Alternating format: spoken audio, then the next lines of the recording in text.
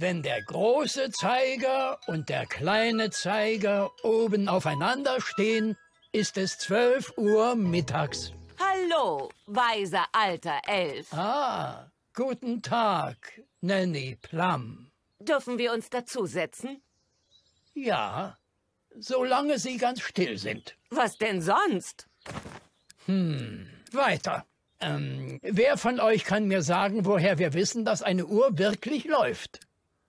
Daher, dass wir hören können, wie sie tickt. Oh, ja, Holly. Das war sehr gut. Sehen Sie, wir Feen kennen uns damit aus. Ja, nur Feen haben, wie ich weiß, keinerlei Uhren. Wir wissen auf unsere Weise, wie spät es ist.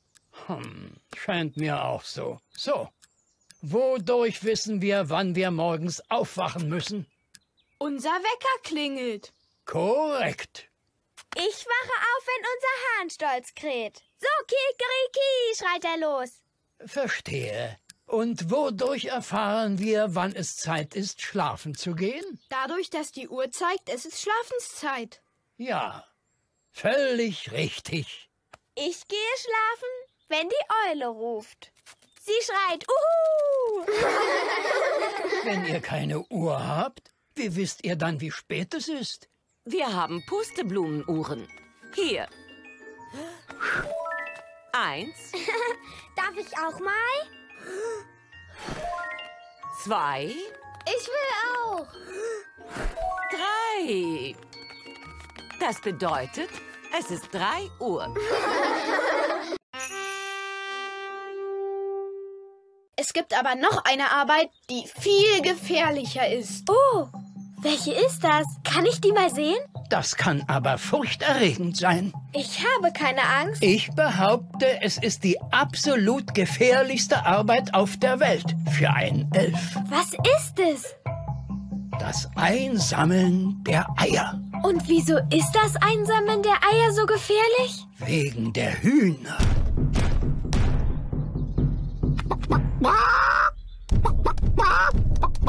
Wow, die sind ja wirklich riesengroß. Ja, deswegen haben wir auch diesen hohen Zaun. Und deswegen ist es absolut notwendig, das Tor zu verschließen. oh, das ist ja interessant. Wartet, Prinzessin Holly.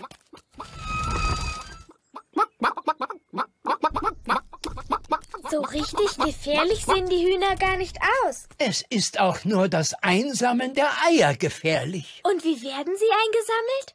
Ein Elf muss flink zum Ei laufen, es aufheben und damit weglaufen, so schnell er kann.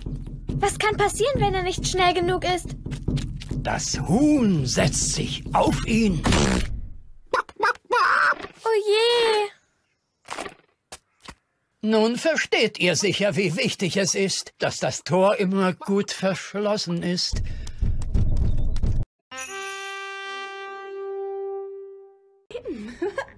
In der Fabrik herrscht heute Hochbetrieb. Eine große Spielzeugbestellung für den Weihnachtsmann. Wow! Ist das vielleicht der Weihnachtsmann? Nein, das halte ich für unmöglich. Nein, nein. Oh, das ist ja eine Überraschung. Ist der weise alte Elf zu sprechen? Ja, ja. Ich kümmere mich sofort darum. Ein Gespräch für den weisen alten Elf. Bitte sofort beim Empfang melden. Es ist dringend. Hallo, Prinzessin Holly. Hallo, weiser alter Elf. Der Weihnachtsmann ist dran. Oh, entschuldigt mich einen Moment. Hallo? Hallo, weiser alter Elf. Werden denn auch die Puppen rechtzeitig zum Weihnachtsfest fertig? Ja, selbstverständlich. Wir schließen die Produktion der Puppen definitiv heute ab. Und kann ich mich auch darauf verlassen, dass Sie ein hübsches rotes Kleid anhaben? Ja, alle tragen ein entzückendes rotes Kleid. Dankeschön. Auf Wiedersehen. Ist das hier eine von den Puppen für den Weihnachtsmann? Ja, wir basteln hunderte davon und alle müssen heute fertig werden. Können wir uns ansehen, wie sie gemacht werden? Natürlich. Ach, wenn doch Nanny Plum hier wäre. Sie liebt Scherze. Oh, ich wusste noch gar nicht, dass sie Freude an solchen Dingen hat. Ja, Ja, Nanny hat einen riesengroßen Sinn für Humor. Wirklich? Dann muss man ja schleunigst mit ein paar Scherzen zu ihr. Los, fahren wir hin.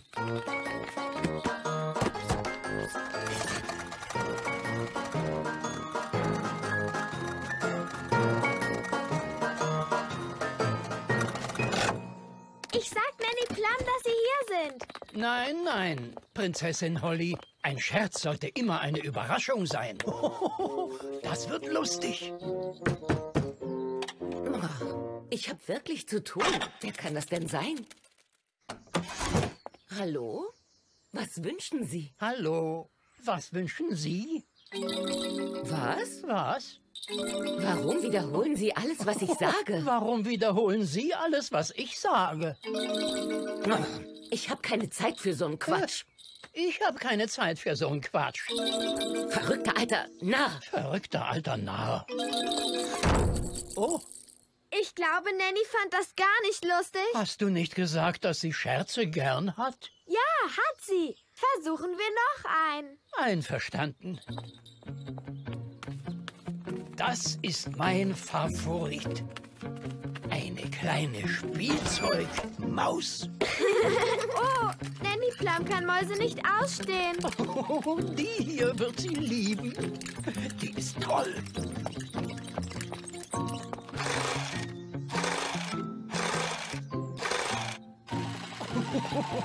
Wir sind fertig. Rein mit ihr.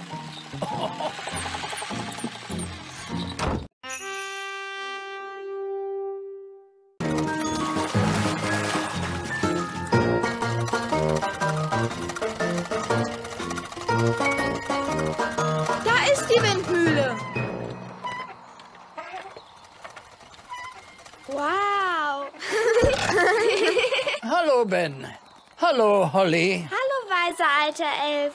Ah, Nanny Plum. Guten Tag. Kann ich bitte einen Sack Ihres Mehls bekommen? Aber gern. Er wird für Sie bereitgestellt und das genau in einer Woche. Ich dachte, das geht sofort. Hoho, der Volksmund sagt schon, du treibst die Elfenwindmühle nicht an. Wieso nicht? Wissen Sie nicht, wie in einer Windmühle das Mehl gemahlen wird? Doch, das weiß ich genau. Ähm, Weiser alter Elf, können Sie uns nicht zeigen, wie das Mehl gemahlen wird? Natürlich kann ich das. Bitte mir zu folgen.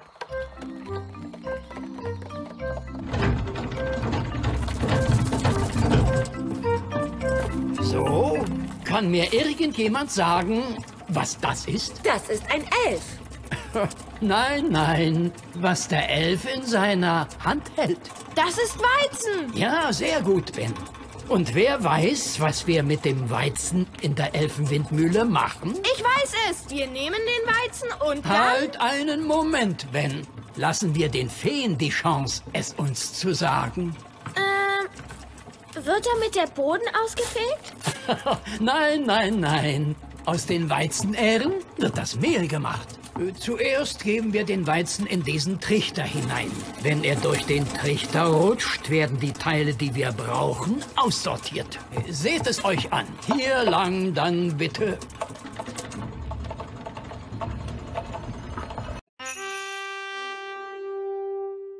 Bitte, Nanny Plum. Können wir nicht eine große Klasse sein? Bitte erlauben Sie es, weiser alter Elf. Nun, von mir aus. Ich habe keine Schwierigkeiten, wenn es ein paar Kinder mehr sind. Was? Weiser alter Elf, Ihre Anwesenheit ist also nicht erforderlich. Ich, ich, Sie können Ihre Kinder wieder einsammeln, wenn mein Unterricht zu Ende ist. ohne Zweifel gibt es einen charmanten Feennamen für diese Pflanze. Doch meine Klasse hat sie eindeutig und korrekt identifiziert. Und zwar als eine Wiesendistel. Oh, ist das nicht vielleicht Gartenschaumkraut? Oh, interessant.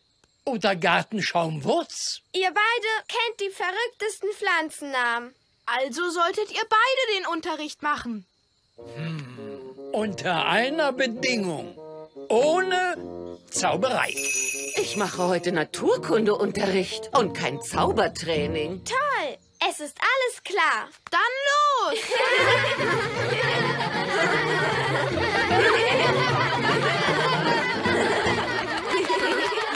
Seht nur. Ah, eine Eichel.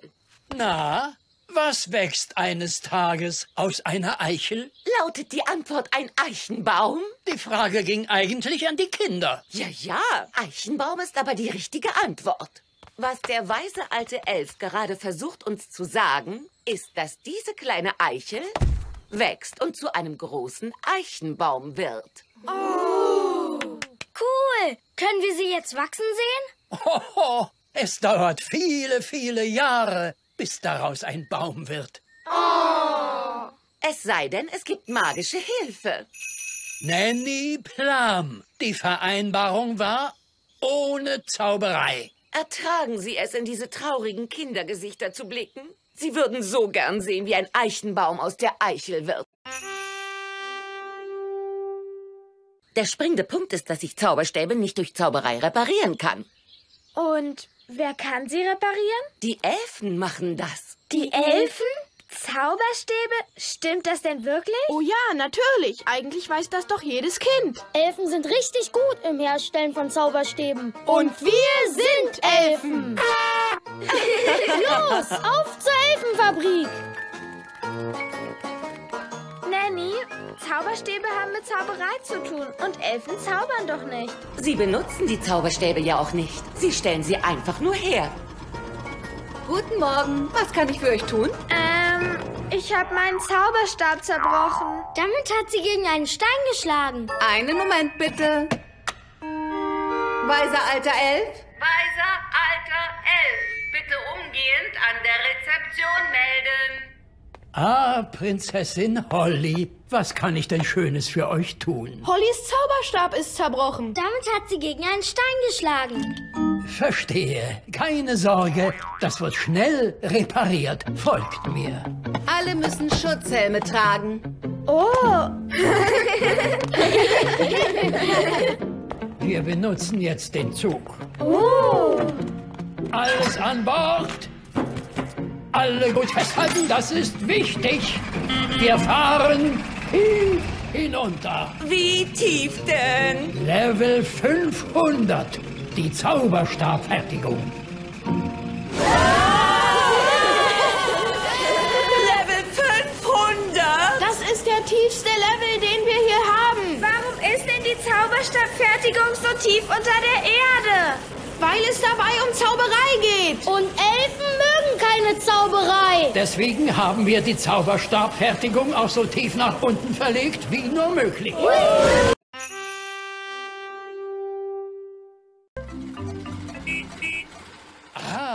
wie ist die Spielzeuginspektion verlaufen? Hat der König gesagt, dass die neue Rakete perfekt sei?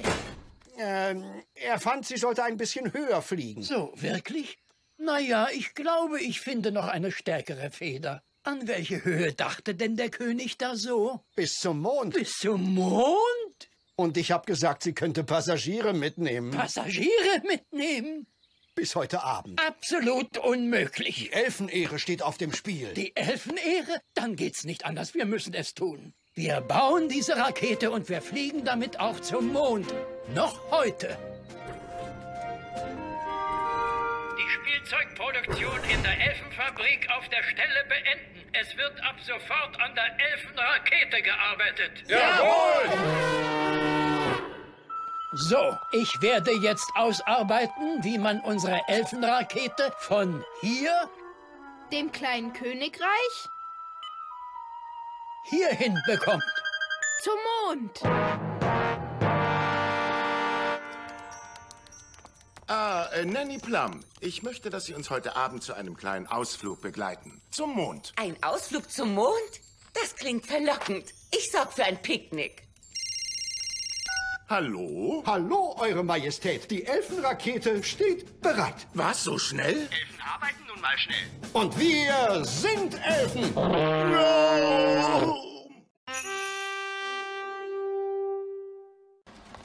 Die Plastikflaschen werden zu dieser Masse verarbeitet.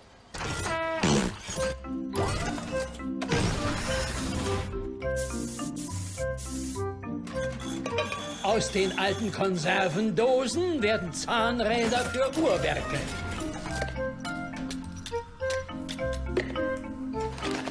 Und Das ganze alte Papier und die Kartons kommen in diese Verarbeitungsmaschine.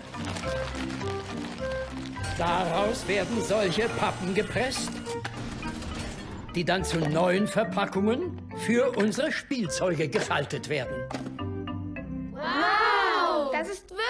Clever. Elfen sind wirklich clever. Und wir sind Elfen. Hier lang. Hui. Hui.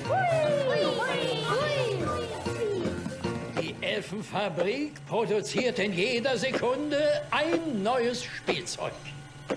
Was geschieht denn, wenn Sie schlafen gehen? Werden dann die Maschinen gestoppt? Nein, natürlich nicht. Wir arbeiten Tag und Nacht, um sicherzustellen, dass die Kinder auf der ganzen Welt ihr Spielzeug kriegen. Die Elfenfabrik steht niemals still. Oh, jetzt tut sie es aber doch. Was? Ich fürchte, wir haben da ein kleines Problem, weiser alter Elf. Wir haben keinen Nachschub an Plastik, Metall und altem Papier. Dann zaubere ich eben ein bisschen Nachschub. Nein, nur keine Zauberei. Wir sind Elfen und wir... Oh, würden niemals zaubern. Und was wollen Sie stattdessen tun? Wir werden einfach nur zum großen Elfenturm gehen. Uh. Hier lang bitte. Uns bringt der Zug schnell dorthin. Oh. Alles einsteigen. Erster Halt, Ebene 1, der Computerraum. Alle gut festhalten.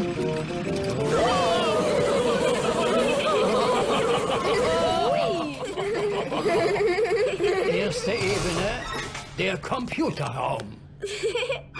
Das war lustig. Oh, mein Magen sieht das aber ganz anders. Tolle Fahrt, was? Und es wird noch viel besser beim nächsten Mal. Nächstes Mal? Was meinst du damit? Abwarten. Bitte mir zu folgen. Hier drin entscheiden wir darüber, wie unsere Spielzeuge aussehen. Macht ihr sie nicht, wie es euch gerade so einfällt? Oh nein, durchaus nicht. Es wird alles genau festgelegt bis ins kleinste Detail. Nichts wird dem Zufall überlassen. Toll. Das klingt mir nach einem harten Stück Arbeit. Wir rühmen uns äußerster Gründlichkeit. Hier also werden die Farben ausgesucht. Das da ist doch die Puppe für den Weihnachtsmann. Ja, jetzt könnte ich zum Beispiel, wenn ich das wollte, die Farbe des Puppenkleides ändern. Von Rot auf Blau.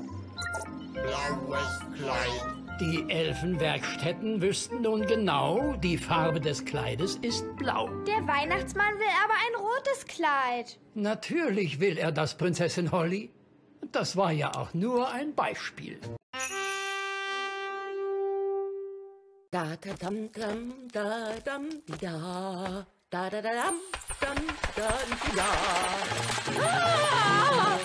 Hilfe!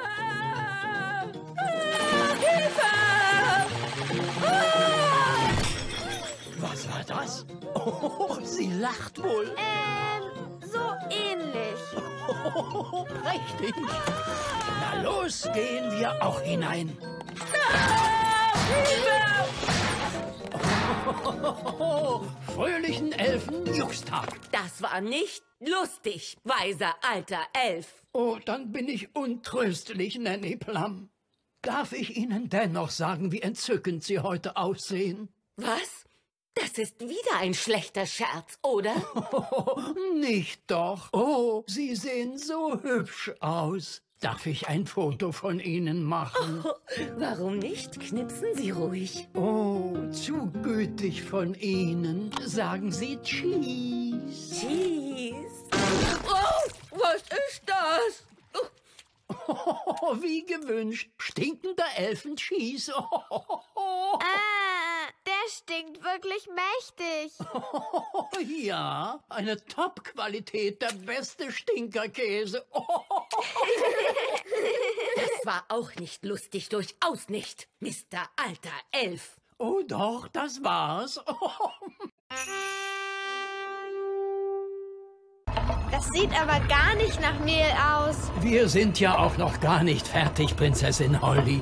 Seht nur, der Wind bewegt die Flügel. Die Flügel bewegen die Zahnräder. Und die Zahnräder bewegen die Mühlsteine.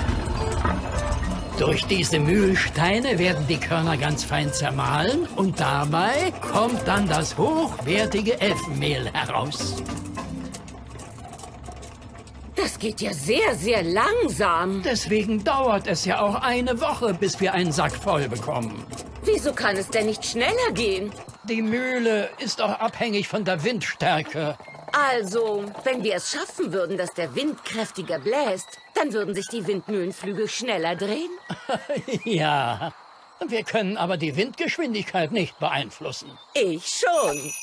Oh, nicht doch. Ich glaube nicht, dass Zauberei hierbei gut ist. Nur keine Aufregung. Ich bin immer äußerst vorsichtig beim Einsatz eines Wetterzaubers. Nanny, darf ich den Wetterzauber auch machen? Nein, Prinzessin Holly. Du bist noch viel zu jung für so gefährliche Wetterzauber. Oh. Aber du kannst mich beobachten und lernen, wie es gemacht wird. Wind, der ziemlich lau nur weht, zeigt, dass es auch kräftig geht. Oh.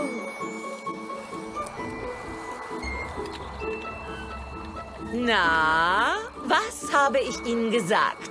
Äh, naja. Die Windmühle läuft schneller und schneller. Sehen Sie, weise alter Elf? Ich weiß genau, was ich tue.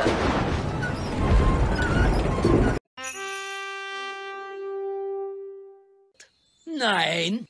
Bitte, Nanny Plum. Machen Sie, dass die Eichel zu einem Baum wächst. Ja, bitte, Nanny Plum. Ich tät's liebend gern. Es scheitert am weisen alten Elf. Bitte, weiser alter Elf. Also schön. Es wird nur ein kleiner Zauber. Abstand halten, Kinder. Höchstens ein winziges Bäumchen, bitte. Ja, ja. Blitzen soll's donnern, Nordwind blas los. Wer zur Eiche, groß, groß, groß.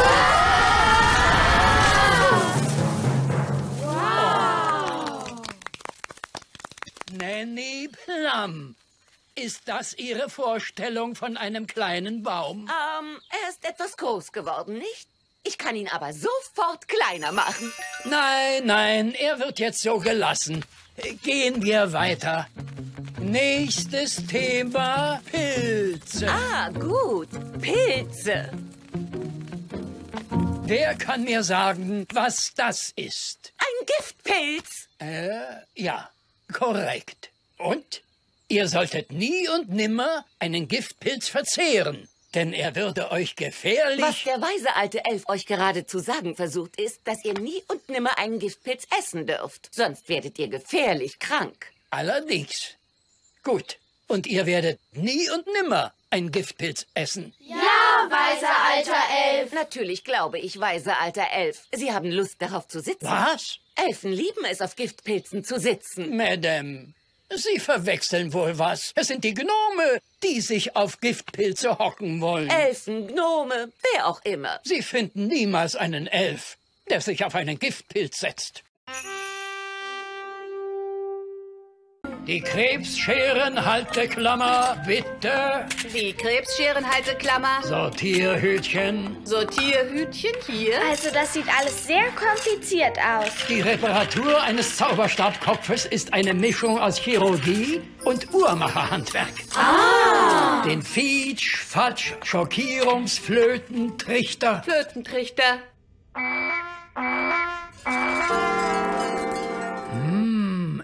Interessant. Das hört sich noch nicht richtig an. Hurra! Können wir nach Hause gehen? Noch nicht, Nanny Plum. Hollys Zauberstab muss noch getestet werden. Auf geht's zum Testraum. Der Testraum für Zauberstäbe. Er ist der sicherste Platz zum Zaubern im ganzen Königreich. Wieso brauchen Sie einen speziellen Raum, um zu zaubern? Wir wollen verhindern, dass Zauberei nach außen dringt und für Ärger sorgt. Wo bleibt da der Spaß? Magie ist nicht dazu da, Spaß zu haben. Hier wird nur sichere und sensible Zauberei ausgeführt. Was tut er denn da jetzt? Wie es aussieht, richtet er den Testroboter für einen Zauberspruch ein. Was ist das? Limonade.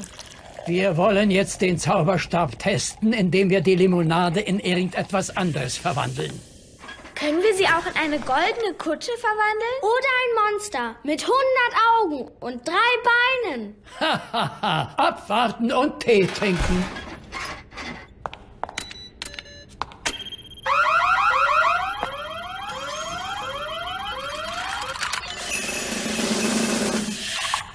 Die Limonade hat sich in Wasser verwandelt.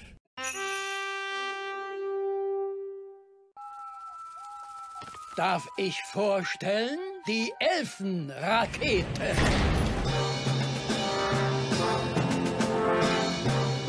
Imposant. Und sie fliegt? Und sie fliegt? Natürlich fliegt sie. Das ist eine Elfenrakete. Die Rakete landet genau hier. Das ist das Meer der Stille.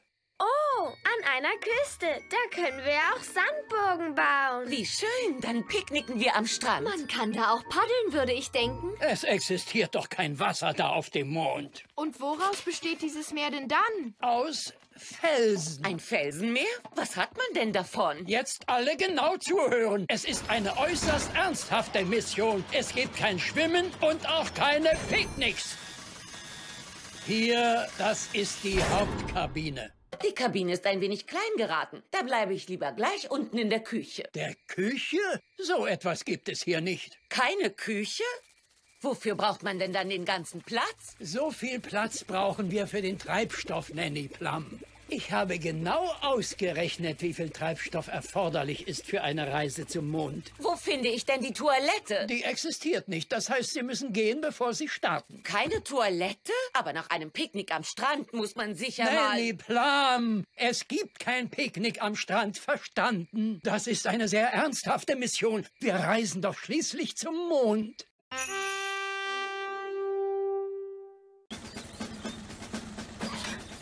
Zum großen Elfenturm. Was ist denn der große Elfenturm? Oh, das ist ein wundersamer Platz. Ich habe noch nie davon gehört. Der große Elfenturm beschenkt uns mit allen Dingen, die wir für unsere Spielzeugherstellung benötigen. Wie macht das der Turm denn? Wenn Menschen hier draußen im kleinen Königreich ein Picknick machen, dann werfen sie Plastikflaschen, Konservendosen und altes Papier hinein in den großen Elfenturm. Wir sind da.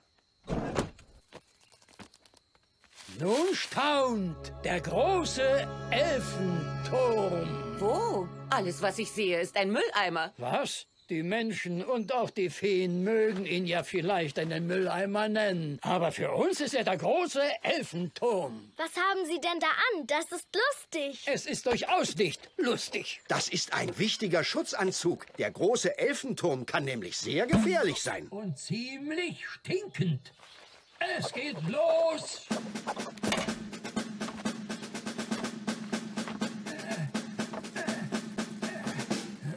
Schlapp machen, Sie haben es gleich geschafft. Haben Sie viele Dinge gefunden, um neues Spielzeug zu bauen? Äh, noch nicht. Es ist ein bisschen dunkel. Ich lasse mich noch tiefer runter und sehe mich genau um. Oh je, es sieht so aus, als ob der große Elfenturm leer wäre.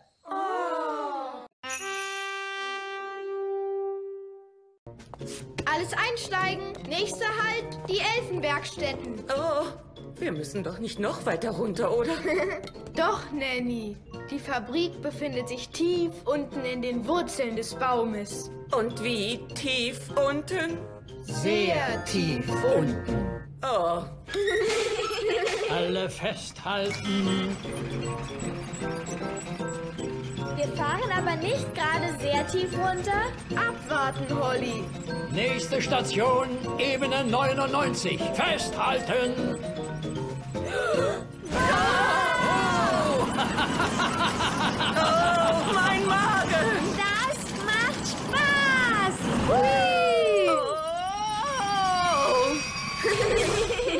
Ebene 99. Die Elfenwerkstätten. Pampemaschine. Die was? Die Pampemaschine. Hier lang, Prinzessin Holly. Bitte, wenn es Fragen gibt, stellt sie ohne Hemmungen. ja, gern. Hallo. Was tun Sie denn hier so? Ich zieh diesen Hebel, Prinzessin Holly. Was tun Sie denn noch? Immer nur den Hebel ziehen und die Pampe kommt raus. Wird das nicht langweilig? Elfen langweilen sich nie. Und ich bin ein Elf. Danke sehr. Gehen wir weiter. Das ist die Formpressmaschine. Und was haben Sie zu tun? Ich muss den Knopf drücken. Och, jeden Tag? Ja, jeden Tag. Sie müssen ja enorm geduldig sein. Elfen sind sehr geduldig. Und ich bin ein Elf. Ich werde Sie jetzt verwandeln in eine Schnecke. Nicht, Nanny. Wie war das? Nie zaubern, wenn man ärgerlich ist. Ich bin doch nicht ärgerlich. Her zu mir, Zauberstab. Das waren nur harmlose Scherze, nichts sonst. Ja, jetzt scherze ich genauso. Weg wird Schnecke. Das war falsch, Nanny. Du hast selbst gesagt, nie zaubern, wenn man ärgerlich ist. Ja, fröhlichen Elfenjuxtag, weise alte Schnecke. Ha, ha, ha.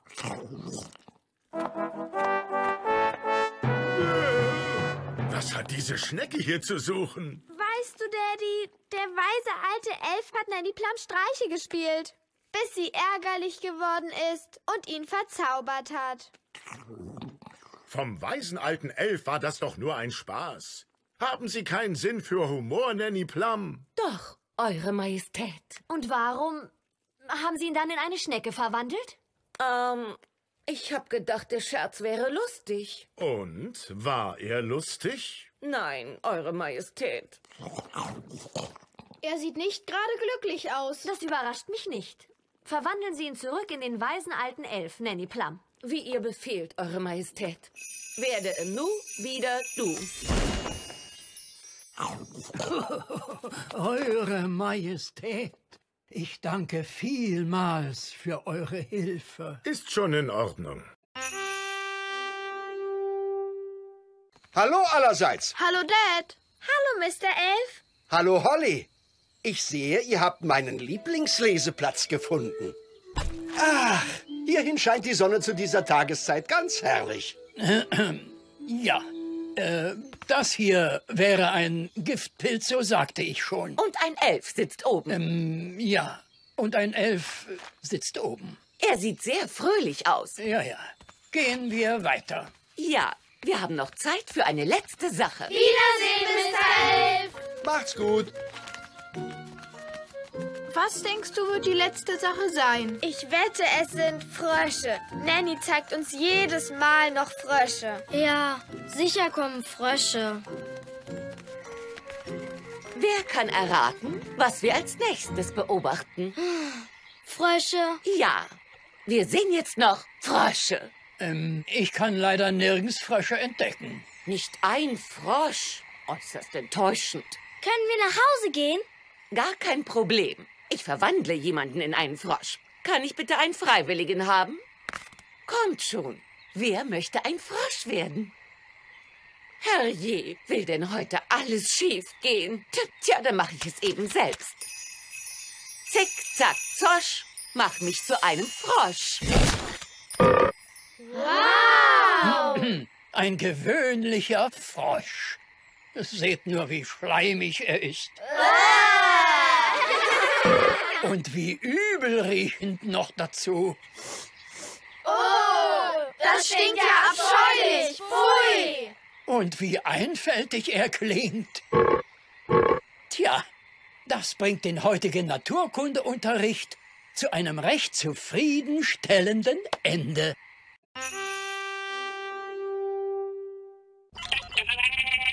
Warum sollte man sowas denn tun? Das ist keine Magie. Eine äußerst sensible Magie. Eine blödsinnige Magie. Ach, worin würden Sie das denn verwandeln wollen? Na, zum Beispiel darin.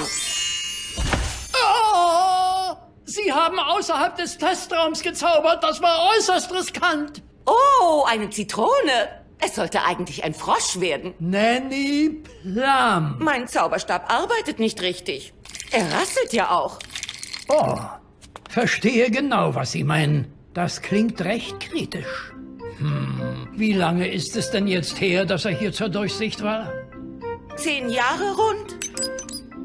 So, korrekt ist aber eigentlich einmal jährlich. Hier, versuchen Sie's. Ja, das ist gleich viel besser. Nanny, du hast den weisen alten Elf in einen Frosch verwandelt.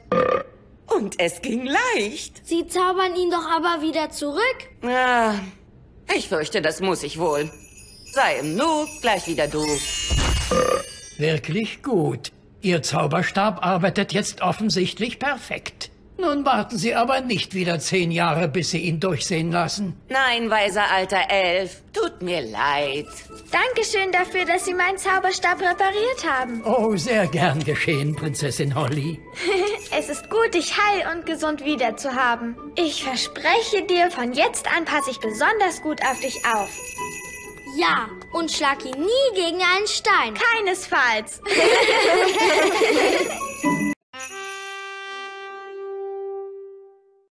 Achtung, alle Astronauten Raumanzug anlegen und fertig machen zum Start.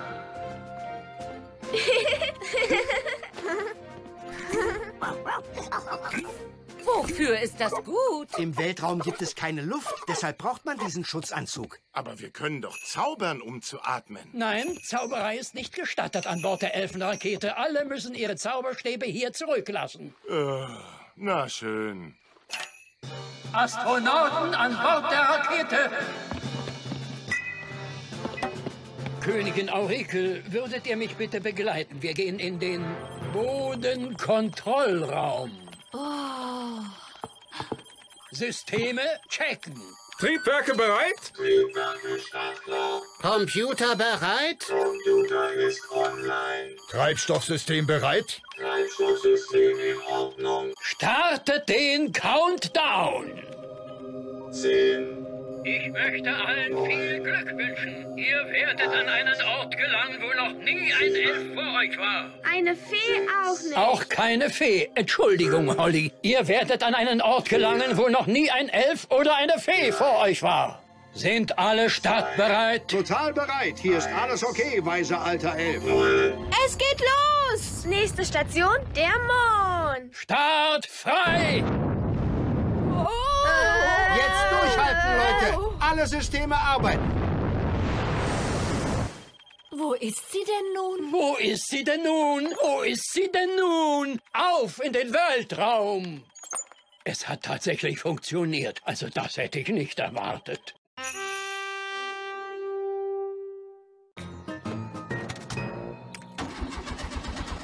Oh je, das Auto springt nicht an.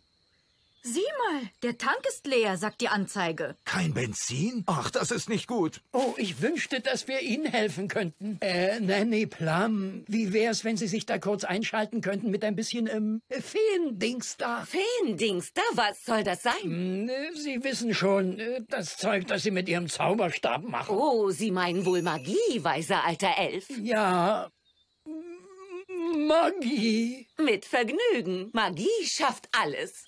Blitzen soll's, donnern, Wunderwelt groß. Schickt das Auto los, los, los. Ja, das ist genug Feenstaub, dass Sie nach Hause kommen. Oh, wir haben kein Benzin im Tank? Und der Wagen fährt trotzdem? Womöglich ist der Wagen so modern, dass er gar kein Benzin mehr braucht. Fragen wir in der Werkstatt nach. Wiedersehen, Lucy. Komm bald zurück. Danke für die Hilfe beim Auto. Lucy, mit wem hast du denn da gesprochen? Ich bin ein paar Elfen und Feen begegnet. Oh, wie nett. Der Wagen glänzt heute ja richtig. Ich habe ihn noch nie so funkeln sehen. Das ist Feenstaub. Oh, was für eine süße Idee.